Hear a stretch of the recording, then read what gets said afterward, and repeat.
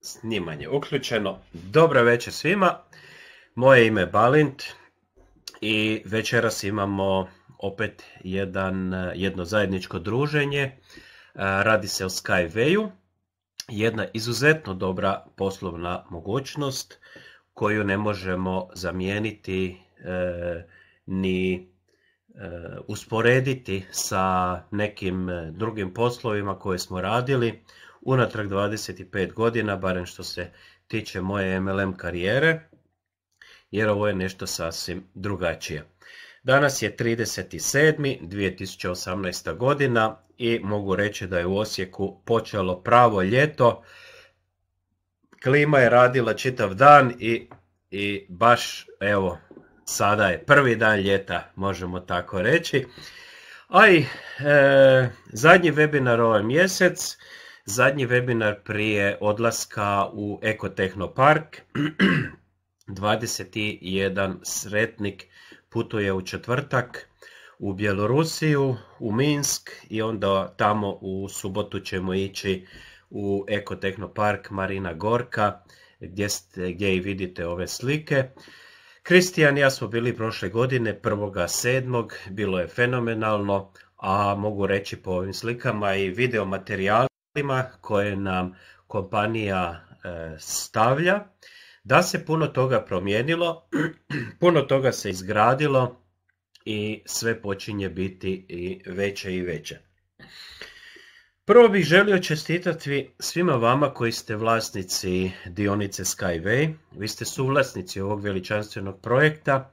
E, nitko od vas još ne može shvatiti što je kupio, koliko će ove dionice vrijediti za 2, 3, 5, 10 godina. Još ne možete vjerovati da će vaše djeca naslijediti ove dionice, možda i vaši unuci. Možda će ova kompanija postati najveća građevinska kompanija na svijetu. Možda će na burzi kotirati za nekoliko stotina dolara. E, sve ono što se događa u pozadini, sve ono što se priprema, ja čvrsto vjerujem u to da će biti to stvarno jedan loto zgoditak. Čestitam i onima koji nas prvi puta danas slušaju i onima koji će nas slušati u sljedećim danima, tjednima, mjesecima na YouTube kanalu. E, dolazi nam jedna nova era. E, ja se sjećam kada sam ja započinjao svoju poslovnu karijeru, Imao sam svega 21 godinu, 93. godina je bila i ponudili su mi prvi MLM posao Envy, tada je to bila senzacija, tada su rekli ljudi u Osijeku, a to vam niko neće ovdje raditi, to vam neće raditi u Hrvatskoj. Mi smo za neki pet godina e, napravili 35 tisuća ljudi, koji su izuzetno bili motivirani. Sjećam se ekonomskog fakulteta u Zagrebu, svaki ponedjeljak od 18 do 20 sati je bio zemljotres, jer je tamo 500-600 ljudi u prosjeku e, slušalo offline seminare i nas e, neprofesionalce i svako je bio oduševljen, imali smo 23 predavača, svi su bili oduševljeni i kako je to senzacija. Ako usporedim e, koliko sam poslova čuo, započinjao, testirao, e, nešto malo zaradio, e, dosta izgubio, sve smo to prošli u ovih 25 godina da bi konačno našli jednu pravu kompaniju koja se zove Skyway. I evo, Bruno nas sluša čak iz Brazila. Hello Bruno. I ja mislim da, ne mislim, nego sam siguran da smo sada na pravom mjestu u pravo vrijeme. Danas je sve drugačije. Danas, ako planirate neki posao za, za danas i za sadašnjost, onda ste na početku odmah gubitnik. E, onaj tko planira za budućnost, e, mora proći tri faze. Kaže gospodin Junicki, kaže prvo vas ne uzimaju za ozbiljno. U drugoj fazi vas ismijavaju, sprdaju se sa vama, a u trećoj fazi se svi bore sa tobom jer su vidjeli da postaješ velika konkurencija. I mi smo sada upravo u trećoj fazi. E, trećoj fazi našega e, uspjeha, Skyway uspjeha, koji će uskoro zavladati svijetom putovanja, izgradnje, komunikacije i dostavljanje roba, e, putovanja ljudi, e, svakodnevno korištenje ovih naših alata, ovih prijevoza će biti dostupno ama baš svima.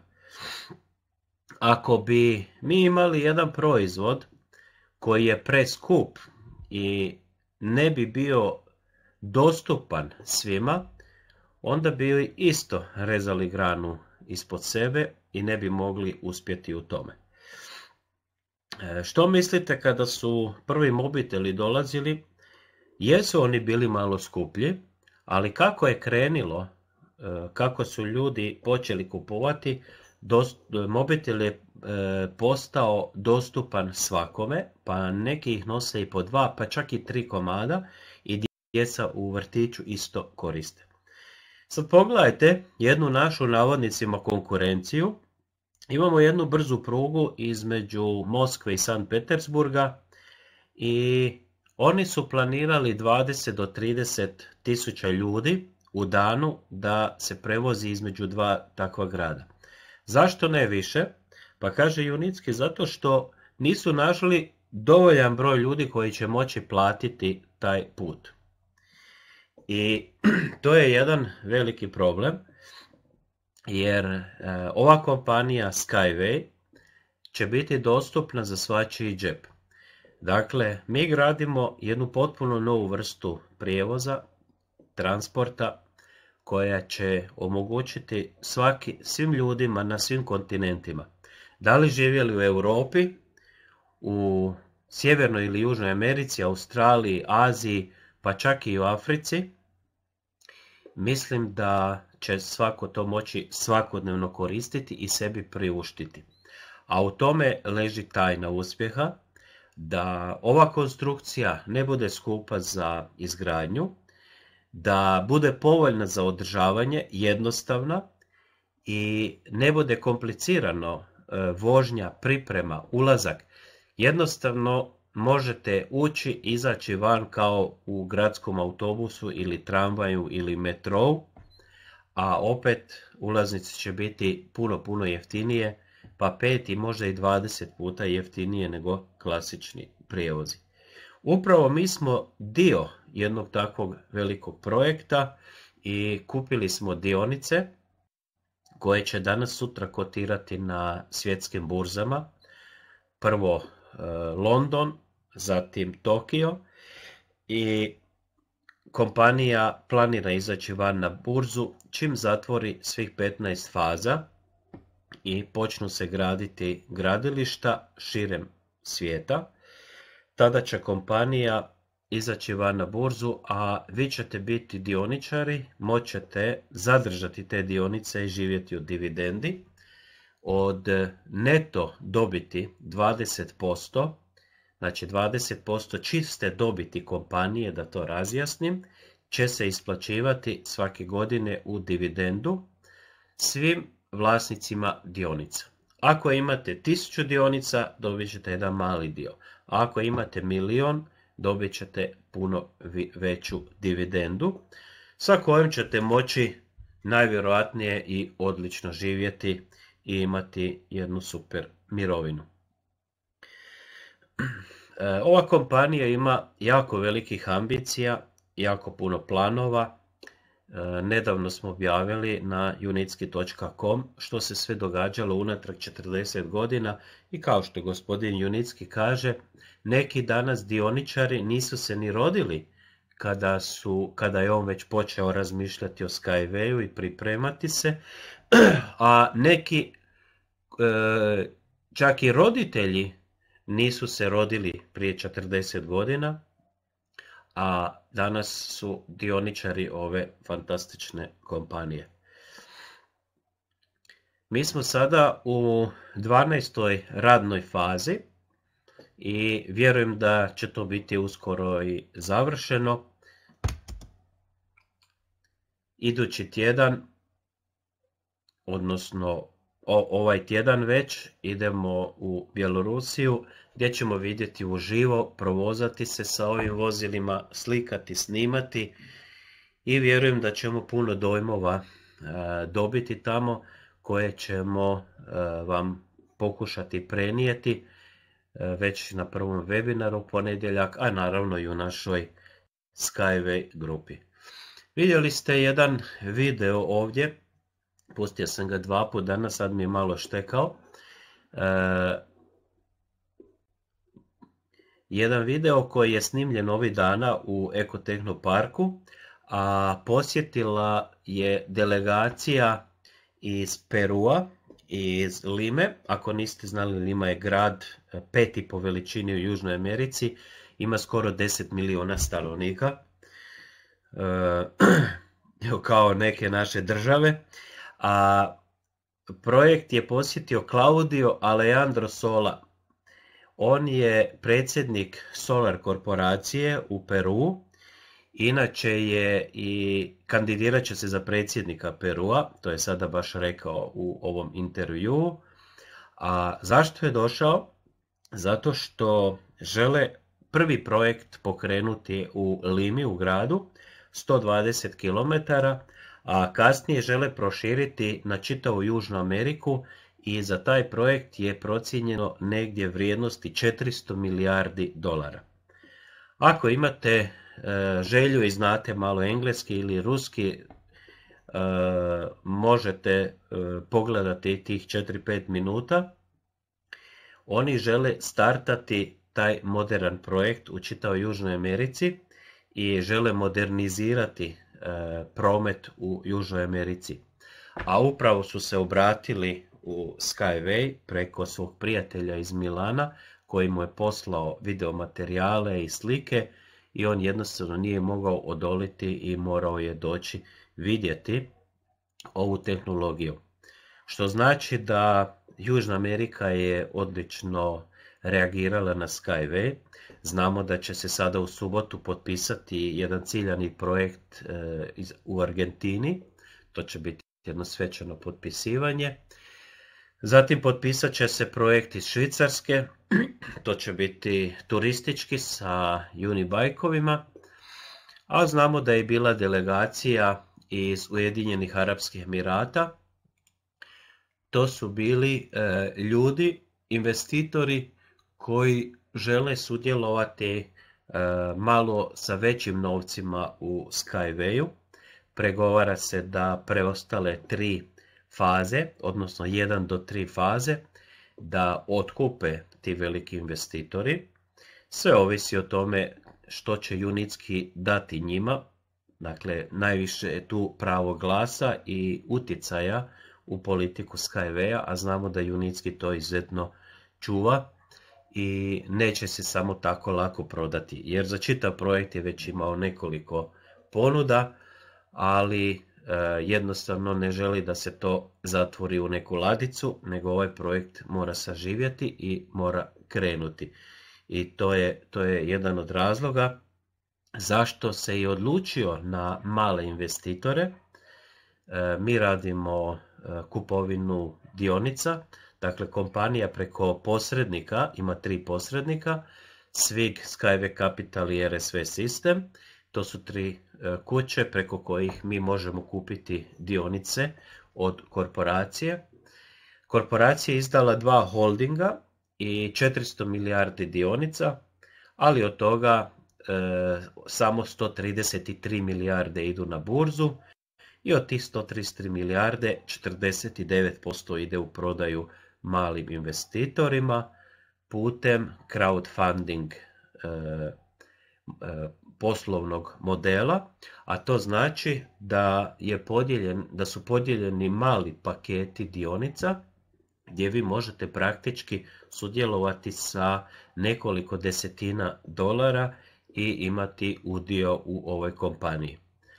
Ako se vratimo malo unazad povijesti, neke velike kompanije su obično startale sa srednjim i velikim investitorima, znači sa 100.000 dolara, sa milion i tako, a Skywayu se išlo na to da što veći krug ljudi dobije ovu mogućnost da kupi dionice i da prosječna, oni kažu, babuška u Rusiji koja ima malu mirovinu ili plaću, da si odvoji 25 dolara mjesečno, da si kupi nekoliko tisuća dionica. Jer ako dionica bude sartala na burzi sa 1 dolar, to će biti već jako e, velika stvar za svakoga, pa i onoga koji je kupio i najmanji paket i zato i njima sam na samom početku čestitao što ste vlasnici i najmanjeg paketa od 250 dolara, zavisi u kojoj fazi ste kupili i e, mislim da ste napravili odličnu stvar. E, mi smo sada u 12. fazi gdje još uvijek možemo kupiti, ali ne znamo da li će biti 13. faza. Dakle, to je sada upitno.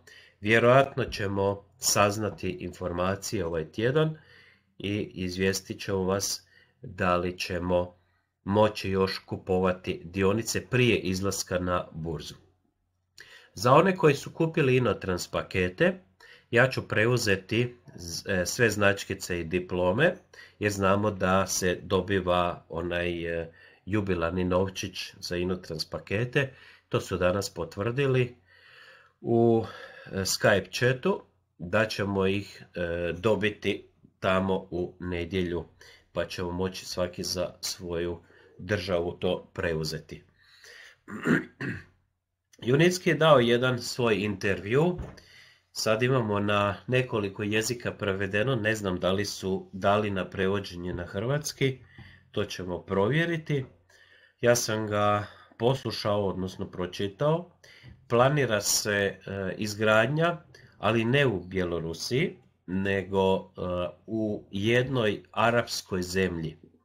E, trasa koja će e, voziti do 1250 km na sat i to je sada već dogovoreno, dakle potpisan je sporazum ili što mi kažemo ciljani projekt i gradit će se, ali još nije htio otkriti u kojoj zemlji. Zašto nam uh, Junicki ne otkriva sve informacije? iz razloga što kako sam sada čitao taj njegov intervju, kaže samo budala može staviti sve karte na stol i otkriti, jer konkurencija je u svijetu užasna.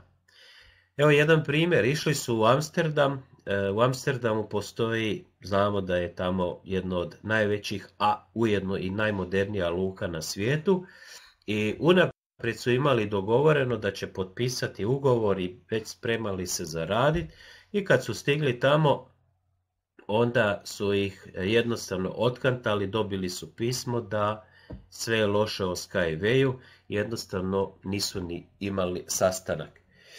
I slične stvari su imali u Indiji i u još nekim drugim zemljama jednostavno konkurencija podmeće noge na sve moguće načine, želi sebe zaštititi i radi jako prljavo. Na taj način je Junicki rekao da će samo te informacije davati u javnost koje su već toliko otišle naprijed da e, ne može se više e, ništa promijeniti i e, mora početi gradnja ili već kreniti gradnja. I kaže, ako bi sve informacije davali, onda možemo zatvoriti program i jednostavno ne bi mogli ništa dalje raditi. E, ja vjerujem da ćemo dobiti e, dosta informacija e, sada tokom posjeta Ekoparka u subotu, a i u nedjelju kad budemo imali sa Junickim jedan poseban skup, jedan seminar, 600 ljudi, već je prodano svi 600 karata, a onaj ko nije kupio taj više ne može ni ući. Što se tiče e, programa, ono što je drugačije od ostalih, da Junicki je pripremio jedno vozilo, Unibus, koje ide 500 km na sat. I to za šest mjesta. I sad su mnogi se iznenadili, neki su se i razočarali kako nema 100 ili 300 mjesta.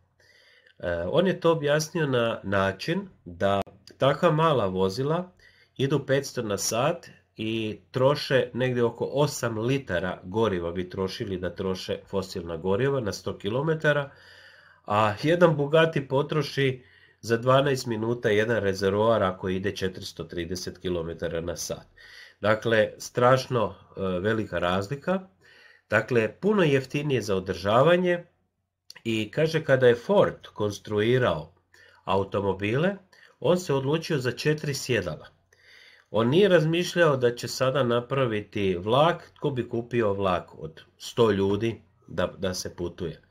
Dakle, išlo se na obitelj i tu je pogodio i, i naravno danas su obiteljski automobili sa 4-5 mjesta, ali naravno sada imamo i tu sa 8, 7, 8 sjedala za malo veće obitelji.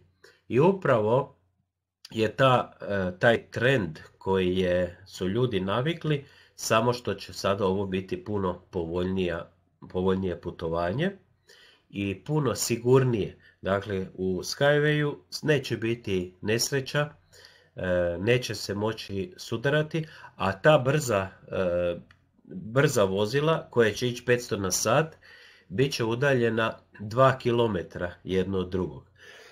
Kaže, ako usporedimo autocestu gdje vozimo 140 150 na sat, a vozilo je možda 20, 30 ili 50 metara ispred i iza nas, pa naravno da je velika vjerojatnost da će se sudariti i zato se i događaju svakodnevno takve nesreće. A ovdje su vozila tako konstruirana da mogu ići do 500 na sat na trasi, dakle ne može udariti životinju ili druga vozila i uz to još 2 km razdaljina. Zatim imaju jednu sigurnost, ako bi u nekom slučaju, ajde da ne isključimo tu mogućnost, ako bi prednji kotači se raspali i otpali, automatika u roku od pola sekunde reagira i ispravlja vozilo koje e, nastavlja sa stražnjim kotačima i na taj način e, ne može doći do neke, neke e, nesreće. Naravno, nakon toga se usporava i zaustavlja vozilo. Dakle, ima jako puno e, sigurnosnih mjera na koje je gospodin Junicki e, koje je pripremao i, dok je i konstruirao, a kasnije znamo da su od 2001. već rađena testiranja, a od 2000 i 14. godine je krenula izgradnja ekotehnoparka, pa tvornice i sve ostalo što možemo danas vidjeti. što ćemo još vidjeti u ekotehnoparku? Pa vidjet ćemo jednu novu stvar koja ne postoji još nigdje na svijetu, a to je cargo dron, odnosno dron koji može podići tonu i pol tereta. To su prošli puta u, na Eko festivalu spomenuli da ćemo ih moći vidjeti, a mi nismo to mogli vjerovati, međutim neće biti samo taj jedan dron, ovdje možete vidjeti nekoliko slika, izgleda kao neki helikopter, nego bit će i puno malih dronova koji će lepršati i tamo i zato su i najavili da nitko ne nosi svoje dronove igračke i da ne koristimo tako nešto da ne bi došlo do nekih sudara i ozljeda u ekotehnoparku. E, zašto ti dronovi i zašto će Skyway to sam proizvoditi? Zato što će Skyway graditi milijune e, kilometara dionica gdje će ova vozila juriti velikim brzinama, a gradnja će biti u svim mogućim i nemogućim uvjetima. U močvarama, u pustinjama, u Sibiru, e, u džunglama i naravno zadnje radove se, su se izvodili pomoću helikoptera, ali znamo da je najam helikoptera izuzetno skup i Junicki je odlučio da ima vlastitu proizvodnju tih dronova. Naravno, vjerojatno će ih i prodavati, jer siguran sam da će biti e, mnogo, e, e, mnogo kompanija, ljudi kojima će trebati, pogotovo tako građevinskih kompanija, kojima će trebati ti cargo dronovi.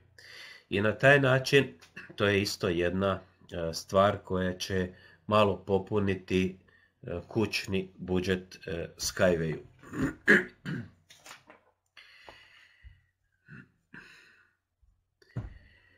Mi smo sada e, došli do te faze da možemo sve vidjeti golim očima.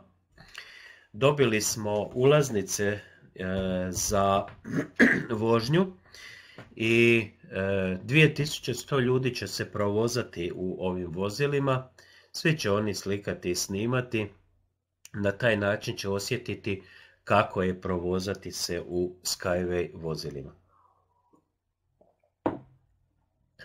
Kada su u Skywayu počeli prodavati dionice, nisu imali ni jedan pošteni katalog, e, imali su samo neke prospekte, vizije, već tada je Junicki imao dosta diploma, a kao što vidite na slici od 1978. godine, dakle bilo je potrebno 40 godina rada i naravno usavršavanja i popravljanje grešaka, nalaženje e, najbolje solucije da bi sada u 2018. E, već u 2017. mnogo toga je izgrađeno, ali 2018. i 2019. su startne godine kada se i kompanija sprema za izlazak na vanjsko tržište i to je bio i cilj da, da, se, da kompanija stane na svoje noge. Ono što smo mi financirali, najveći dio je izgradnja tog ekotehnoparka, oko 350 milijuna dolara, predstavljanje na svjetskim izložbama, sajmovima, preko 15 e, svjetskih sajmova, diljem svijeta, Indonezija, Indija, Emirati, e, Bjelorusija, Rusija, Evo sada 18. do 21. će biti u Berlinu Inotrans sajam. Tamo smo isto kupili, vidjeli ste karte, rezervirani su hoteli, jer će se na Inotrans sajmu predstaviti vozilo za 500 na sat, a nakon toga to vozilo prenose u Ekotehnopark na testiranje i za dobivanje certifikata.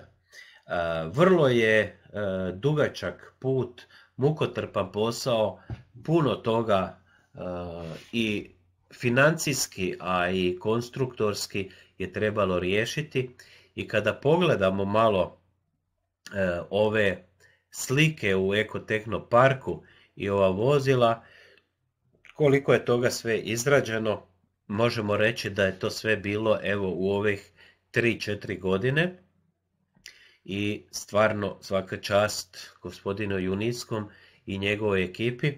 Sada već e, kompanija broji oko 600 ljudi, uglavnom su to visoko obrazovani stručnjaci, inženjeri, graditelji, projektanti koji rade u ovoj kompaniji i to je isto išlo iz izvora financiranja od prodaja e, dionice prije izlaska na burzu.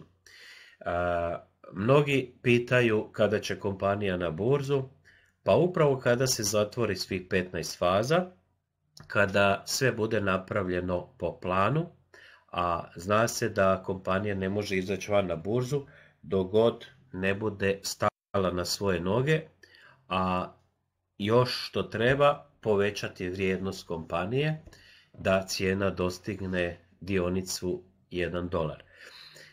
Mi imamo saznanja da će mnogi veliki investitori, investicijske kuće, fondovi, e, već i sada su zainteresirani za otkup ovih e, faza, ali e, najozbiljniji investitori će upravo tada biti aktivni u prvim danima izlaska na burzu, jer tada će kompanija pokazati da može izaći, jer znamo da kompanija izlazi van na burzu koja ima sve pripremljeno, stabilna je kompanija, veliki prosperitet i nijedna kompanija ne izlazi samo tako na burzu pa šta bude bude. Jel?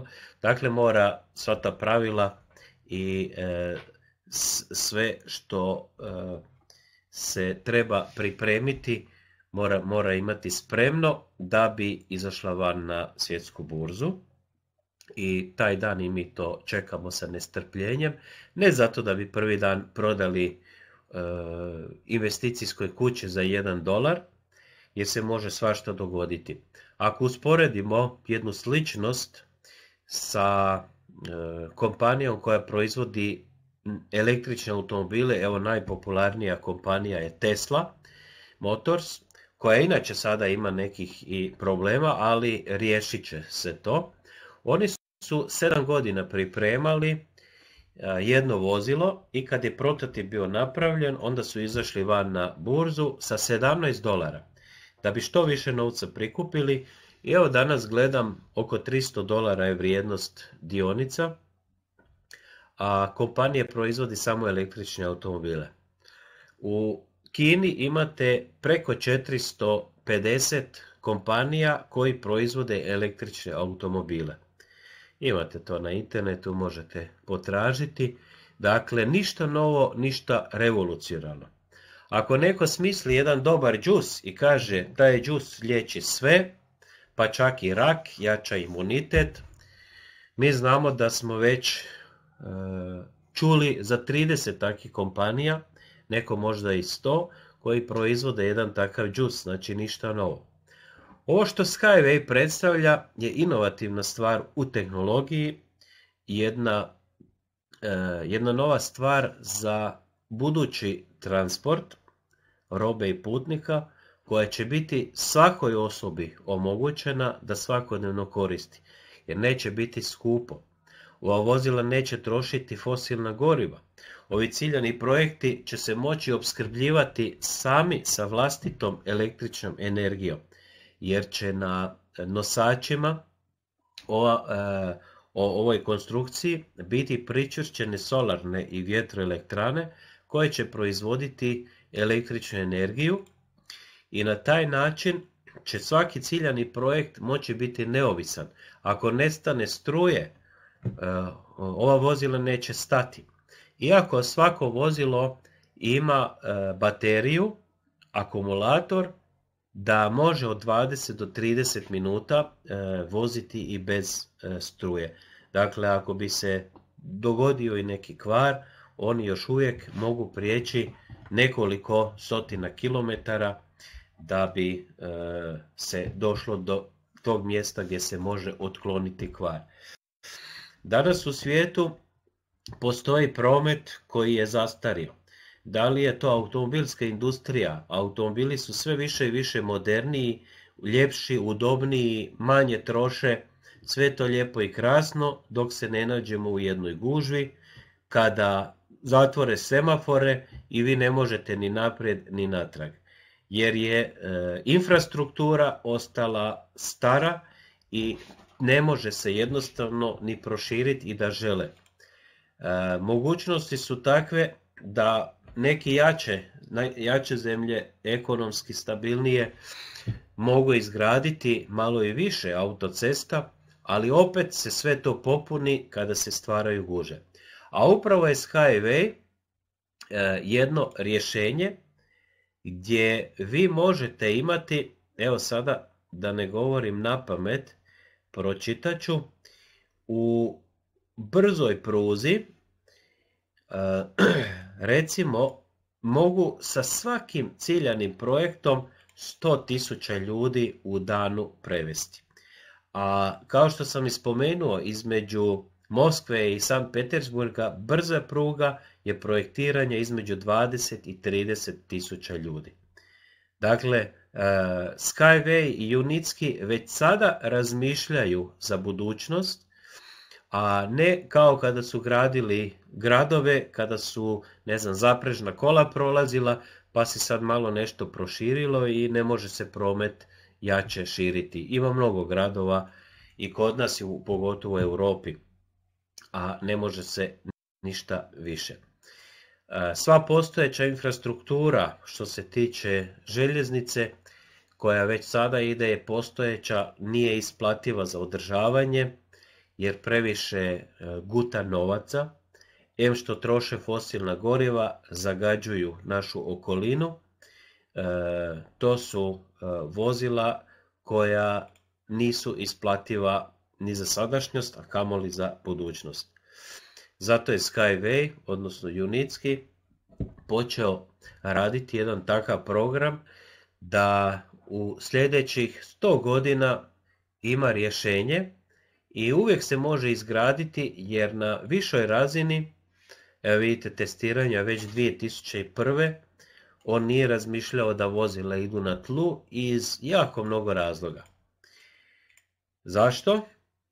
Zato što prvo zbog sigurnosti, ako su vozila povišena na 15-20 metara visine, ne, ne postoji mogućnost da se sudare sa vozilima koja su dolje na tlu na asfaltu, ni sa drugom željeznicom, jer svaka trasa ide u jednom pravcu, dakle nema mimo ilaženja. Isto tako ni sa životinjama i na taj način iz sigurnosnih razloga imamo broj 1 što se tiče sigurnosti. Drugi razlog je aerodinamika, kada su vozila iznad tla vrlo malo otpora zraka stvaraju i na taj način imaju po 20-30 puta manji otpor zraka i naravno manja potrošnja i veća stabilnost vozila. Zatim, niz je razloga zašto je to podignuto, osim toga što poljoprivredne e, zemljište ostaje čisto za obradu, zaobilazi se e, močvare, rijeke, mora, planine, ne treba tunele graditi, ova vozila mogu savladavati i veći uspon, puno veći nego klasična. I na taj način vam e, neće e, zadavati glavobolje neka planina.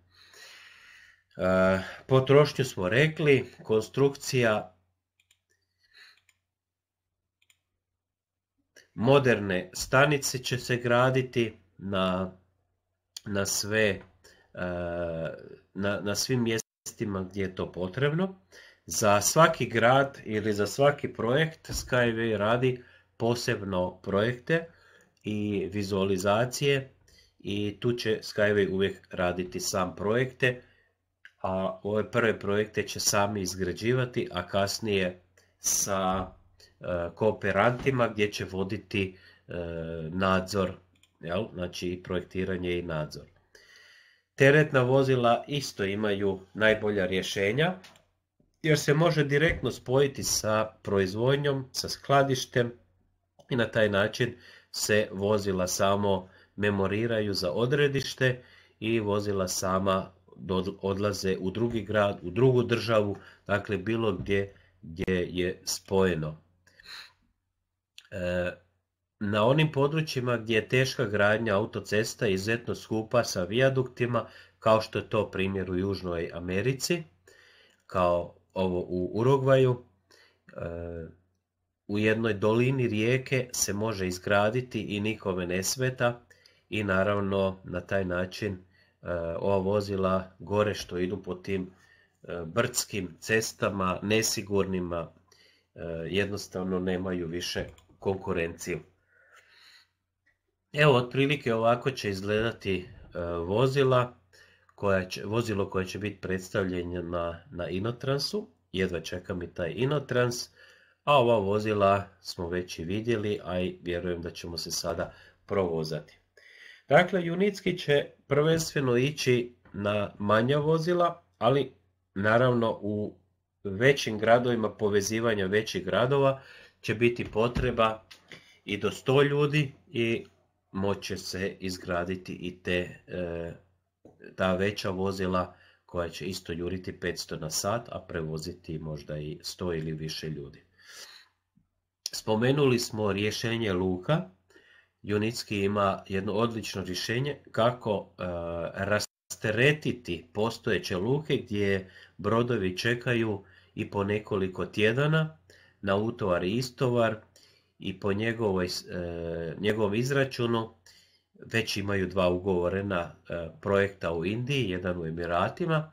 Za 17 sati jedan teretni brod se može istovariti, a isto tako utovariti, što je do sada bilo nemoguće. Ako usporedimo e, cijenu koštanja projekata sa ostalima, sa klasičnom željeznicom, kamionskim, sa metrom, sa magnetnom željeznicom, jednostavno je neusporediva. Upravo zato i ta konkurencija e, počinje stvarati probleme, ali ja mislim da sve kompanije koje su tako nešto veliko napravile su imale konkurenciju i to tako mora biti. Tako je što se tiče onečišćenja okoliša, održavanje ili što se tiče sigurnosti, to su parametri gdje e, nema jednostavno u takvim segmentima ne postoji konkurencija. Inače ova tehnologija nije poznata još nigdje, Dakle, ni Japanci, ni Kinezi, ni Rusi nemaju takvu tehnologiju što je Unitski napravio. Dakle, potpuno je novo, e, nova stvar za sve e, u svijetu.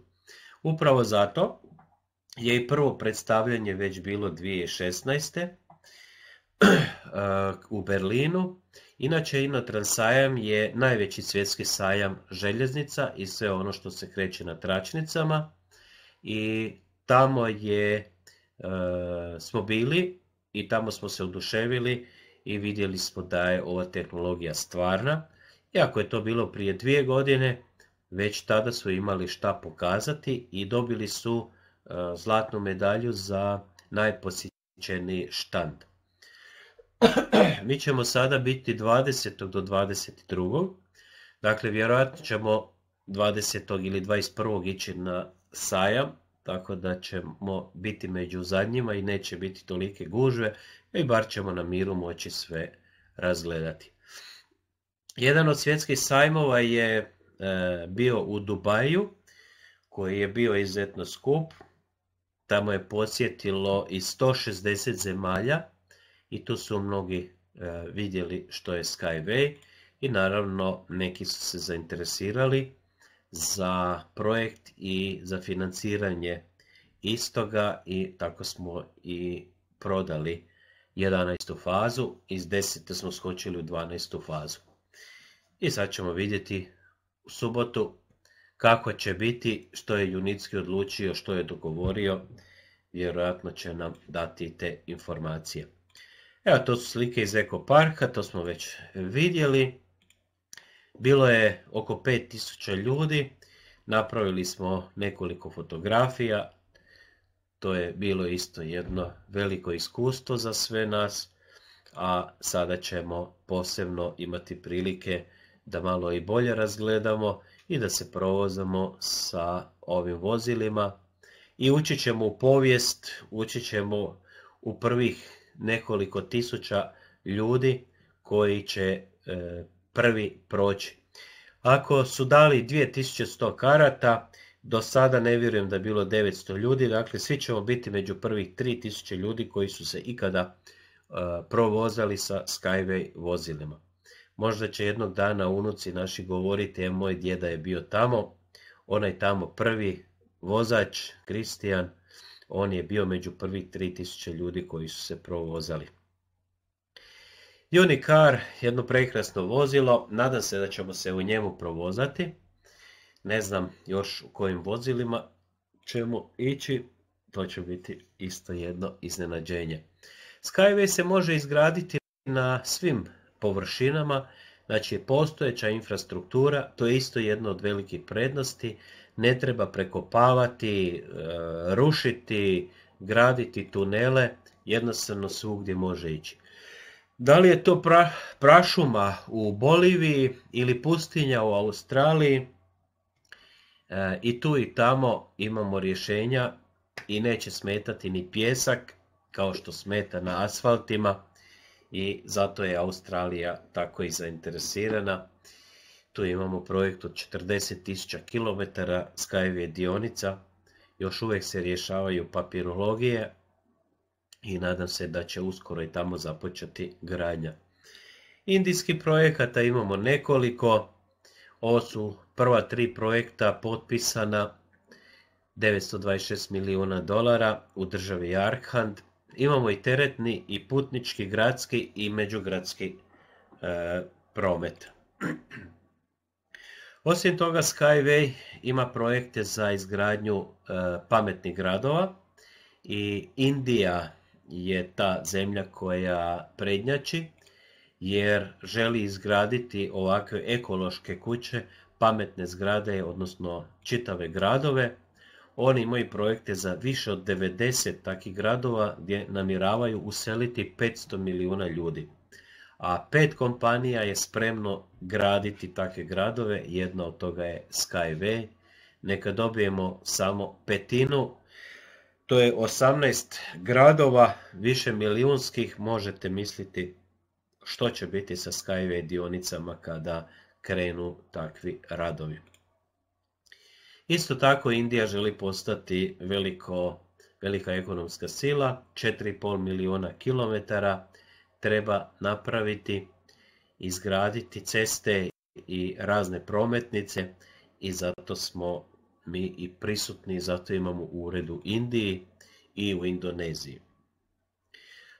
U Abu Dhabiju imamo projekt koji e, je potpuno isfinanciran, na pragu je izgradnje, vidjet ćemo možda dobijemo i zato informaciju, uglavnom će ići takvi gradovi. E, ovo je bio kod Dalaj Lama, kod, u, u njegovoj rezidenciji do e, aerodroma ima nekih 15 km i to je dosta nepregledno loša e, infrastruktura, tako da je tu planirano 30 milijuna dolara sa 42 unibusa povezivanje njegove rezidencije, jer oko milijun i pol ljudi godišnje posjeti Dalaj Lamu, tako da, a naravno jako je važno da bude ekološki. Novi projekti koji sada se nizu je, to su Brazil, Urugvaj, Filipini, Slovačka. Evo kolega mi danas rekao da je u kontaktu sa Slovacima gdje će se graditi e, isto jedna dionica. Pa u Mađarskoj dva projekta, Poljskoj, Estonije u glavnom gradu Talin, Kazahstanu tri projekta, Italiji dva projekta kod Milana, Njemačka kod Stuttgarta, Švicarska će sad potpisati, San Marino isto su bili dva put oduševljeni, e, vjerojatno će uskoro potpisati, Turska, Argentina i evo sada možemo reći Peru, ako se odluče, a vidim da su izuzetno zainteresirani, tako da je ovaj peruanac i zato dao taj intervju i to će isto biti veoma zanimljivo. Iskreno ja i vjerujem da je već negdje započela gradnja i da su rađene pripreme i sve, ali evo još uvijek je to e, obavijeno velom tajne od Junickog. E, vjerojatno sad već ima fobiju od konkurencije i e, još nije otkrio, ali nešto ćemo otkriti ovaj tjedan u Minsku, tako da ćemo dobiti nešto informacija. Ako pogledamo e, pakete dionice, još uvijek su vrlo atraktivni jer imamo recimo Inotrans paket. E, inače, sada još traje akcija u ovoj 12. fazi za sve nove članove koji se upišu, ako u roku od 7 dana, bez obzira su verificirali ili nisu račun, kupe bilo koji paket, na prvi paket će dobiti dodatni 10% dionica. Dakle, ako kupi novi član 1000 e, dolara, dobit će 45.000 dionica i još 4.500 bonusa. Ako drugi puta kupi, dobit će 55.000, treći puta 65.000 i tako dalje, svaki četvrti, peti i više puta 65.000 dionica. Paket brzi start, e, dva mjeseca po 300 dolara, 21.000 dionica, ako plati oba dvije rate u istom danu u roku 24 sata dobit će još 6000 dionica. Dječje pakete možemo kupiti na našu djecu, unuke, nečake, samo ih trebamo upisati kod nas u back office, napraviti verifikaciju i tada nam sistem dozvoljava odabir jednog paketa od 65 dolara mjesečno na 9 mjeseci ili 150 dolara isto na 9 mjeseci. 26.325 dionica ili 67.500. Imamo premium pakete koji su najveći od 50.000 dolara gdje imamo 3,5 milijuna dionica, 25.000 dolara 1.675.000, 10.000 dolara 650.000 dionica i 5.000 dolara 300.000 dionica. Takve pakete možete uzeti na 10 mjesečnih rata, ako imate mogućnost 5000 dolara mjesečno na 10 mjeseci, 2500 dolara 1000 ili 500. A za one koje e, su dostupniji širom krugu ljudi, imamo biznis paket od 200 dolara mjesečno, gdje ćete dobiti 96.000 dionica. Sa 100 dolara mjesečno na 10 mjeseci dobijete 45.000 dionica, 50 dolara mjesečno 17,5 plus 2,5 znači 20.000 dionica i za 25 dolara mjesečno imate 7750 dionica plus 750 bonusa. Ove bonuse dobijate ako izaberete opciju prve dvije rate odjednom a ostalo ide po jedna rata mjesečno. Svaka, svaki paket se može i unaprijed isplatiti, ali imate otplatni plan i treba se samo pridržavati rokova. Za one članove koji su bili marljivi pa su preporučili nekim ljudima, zaradili su bonus. Taj bonus ako ne žele izvaditi na svoj bankovni račun, mogu kupiti specijalna četiri paketa od 1800 dolara 108.000 dionica, 1000 dolara 55.000 dionica, 400 dolara 17.200 i 250 dolara 10.000 dionica. Ako netko želi kupiti iz tablice, tu može već od 15 dolara kupiti 255 dionica, za 30 dolara 690 i tako dalje, za 2000 dolara 96.000 ili 150.000 dolara 12 milijuna koji je ujedno i najveći paket u Skyway. Kao što smo ispomenuli, znači London i Tokio, to su dvije burze na koje će kompanija izaći van, znači kada bude spremna, dovoljno jaka da se suoči sa svim problemima i nedaćama, ali i dovoljno atraktivna da veliki svjetski fondovi, veliki investitori prepoznaju ovu šansu e, koju smo mi prepoznali prije mjesec, dva, prije dvije godine, prije četiri, oni koji su čuli za to, entuzijasti koji su više vjerovali i koji su znali, dobili su veći diskont, ali naravno bio je i veći rizik. Mi kako e, prolazimo faze, kako nam se otvaraju e, nove stvari, proizvode se nova vozila, pregovara se sa sve više zemalja, sa sve više delegacija, kako napreduje Ekotehno park i vidite da oni ništa ne skrivaju, dakle e, sve, sve, sva vozila i svu konstrukciju mogu pokazati na svjetskim sajmovima, a naravno Ekotehno park će služiti uvijek za isprobavanje, za testiranje, za usavršavanje, otklanjanje grešaka, za patentiranje, za dobivanje certifikata i svi potrebni dozvola za promet i vožnju za javni prijevoz. Pazite, to nije lako dobiti jedan certifikat sa kojim e, možete prevoziti i putnike u javnom e, prometu. Jer vi ako sami vozite, to je jedno. Ako vozite druge, to je još veća odgovornost. I neka vozila koja su već testirana, Unibike, Unibus, e, sad je mislim u testiranje Unicar i onaj veliki Unibus, a onda u devetom mjesecu će ići Unibus koji ide 500 na sat i teretni program teretni program je lako jer to se prevozi teret i onda će to biti atraktivno. Evo da odgovorim na pitanja i Mikiju i Srećku. Još nemamo informaciju, ali evo, dobro da ste nas podsjetili.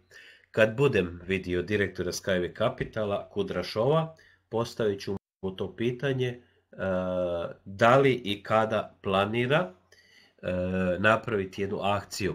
Do sada su takve akcije bile uvijek ono 5 do 12, znači jedno dva tjedna, tri tjedna prije nego što faza završi. I na taj način su željeli malo brže zatvoriti tu fazu i rasprodati e, dionice. I bilo je već, koliko ja znam, tri puta u fazama takve akcije i nema razloga zašto da ne bude opet e, jedna takva akcija. E, to, tu akciju će vjerojatno predložiti Kudra Show, ali na sastanku upravnog odbora sa Junickim on mora dati zadnju riječ i ako on kaže da može, onda nema nikakvih problema. E sad, ako se prodaju te tri faze i ostane nam samo 12. faza, moguće je da neće biti potrebe za takvom, takvom akcijom, jer ako to ljudi saznaju, nas ima sada preko 300 tisuća investitora u svijetu, 6 tisuća ljudi će sada posjetiti Eko Park i ako dobijemo tu informaciju da su prodane tri faze, lako je moguće da za koji tjedan se rasproda svih 12, e, odnosno 12. faza. Jer ako bi samo 10% ljudi kupilo neki srednji paket, onda bi sve otišlo. Ali vidit ćemo. Neka bude, onda ćemo kupiti još paketa i bit će nam to veoma interesantno. U osmom mjesecu ćemo imati samo ponedjeljkom. Sljedeći ponedjeljak nadamo se stići na vrijeme pa da vam održimo webinar. A onda ona dva ponedjeljka, to će biti 13. 20. Tada će Atila i Kristijan držati, mi ćemo biti na jednom godišnjem odmoru, a onda 27. se vraćamo i onda nastavljamo i naravno u devetom mjesecu počinjemo sa turnejama, vidjet ćemo kako ćemo napraviti raspored, Srbija, e, Slovenija, Zagreb, Rijeka, Split i planiramo poslije Inotransa otići u Crnu Goru, Makedoniju, dva dana u Podgoricu, dva dana u Skopje, tako da upoznamo i tamošnje suradnike i da i napravimo tako jedan otvoreni seminar. I onda dalje, deseti mjesec, 11. 12. Vjerojatno će tada već biti i ciljani projekti, tako da ćemo imati e, burno razdoblje za sve vas koji želite još investirati, za sve vas koji želite graditi mrežu, karijeru. Evo vidite, bez obzira što je već ljeto, što su ljudi na godišnjem odmoru, gotovo svaki dan imamo jednog novog lidera, lidera svaki tjedan mastera i to je samo rezultat uspjeha da dobro radimo. Imamo fantastičnu ekipu, e, super ljude koje sam upoznao putujući kroz gradove, i moram reći da se stvarno odlično osjećam. Uvijek mi je drago e, biti sa vama, pa i na ovom webinaru, ali posebno naravno kada završimo sastanak pa sjednemo, malo družimo se, popijemo kavu, piće i super. Evo 21 sat, e, završen je večerašnji webinar. Ja želim svima ugodnu večer i kao i vi i mi s nestrpljenjem očekujemo četvrtak, let u Minsk i onda u ponedjeljak se vraćamo nazad sa puno dojmova. Hvala lijepo i puno uspjeha svima želim i doviđenja.